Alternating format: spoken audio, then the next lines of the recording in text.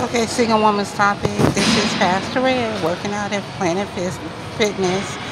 Um, I need to do this because I have to go to the doctor on a regular basis. I was injured at work, so I have to do this. Wait for the physical therapy to be granted again, and do what they have me doing there to work my core and my legs, get the strength, so I won't uh, fall my face. So right now. I got it at this. And so this is me getting down up in here, girl. Okay. Uh, so, and then I'm going to restart it again.